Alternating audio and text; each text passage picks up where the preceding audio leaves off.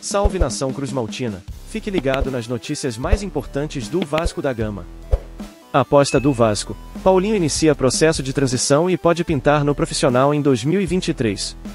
Promessa da base. Lateral direto de 17 anos vem treinando com o time de Maurício Barbieri nesta semana. A primeira semana da pré-temporada do Vasco no CT Moacir Barbosa seguiu a receita do que deu certo em 2022, o processo de transição base profissional. Na última terça-feira, o jovem Paulinho se juntou ao elenco de cima, ainda em formação, e treinou sob o comando de Maurício Barbieri.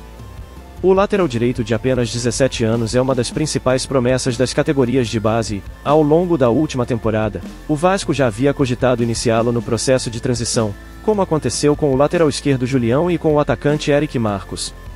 Paulinho inclusive foi citado pelo diretor Paulo Brax em entrevista coletiva na semana passada.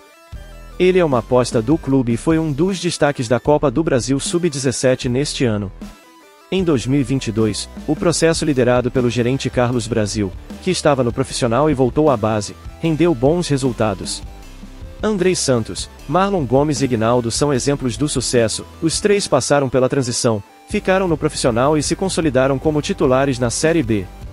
No caso de Paulinho, a intenção é que ele vivencie o ambiente do futebol profissional ao longo do próximo ano, mas por hora o processo será gradual.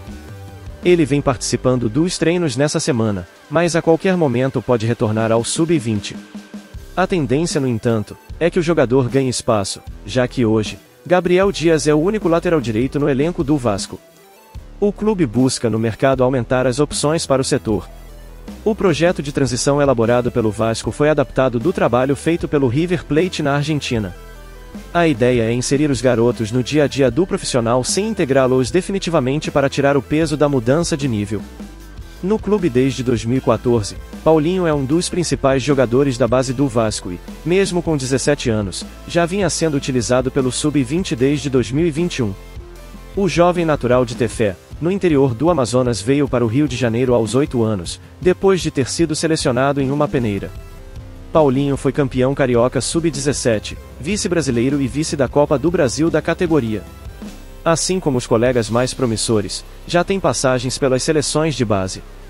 No ano passado, o lateral assinou seu primeiro contrato profissional com o Vasco, válido até agosto de 2024. E aí, torcedor Cruz Maltino, você já conhecia o Paulinho, Será se ele vai se sair bem no elenco para 2023?